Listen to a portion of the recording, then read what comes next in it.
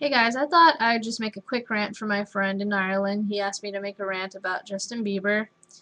And to talk about Justin Bieber, I don't really listen to his music. I don't know him as a singer really. Um, I was I never got interested in his music. Um, the only song that I heard from him was that baby song and that was played in high school at our prom, which was pretty ridiculous. That was the first time I heard him and then everybody else would start singing to him. But he supposedly got big because of Usher, and good on him.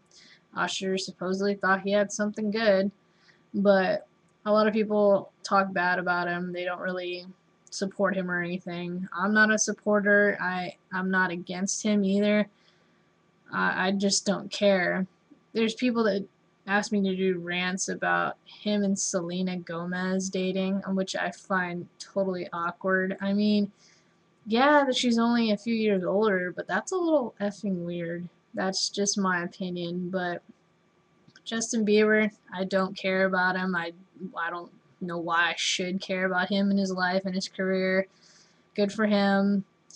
That goes for any other celebrity that I really don't know about or don't even listen to or really care about because they have enough publicity club God publicity already that they don't need more from me or anybody else so I don't know why people even freaking worry about that. But yeah there's your rant. I just Justin Bieber I just honestly don't care. Um, you guys can subscribe like dislike leave me a comment. What do you guys think?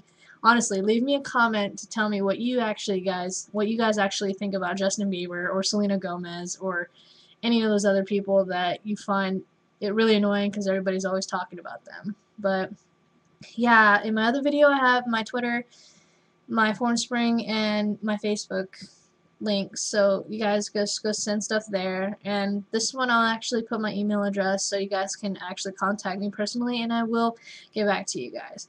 Um, other than that, I'll talk to you guys later. You guys have a nice weekend. Bye.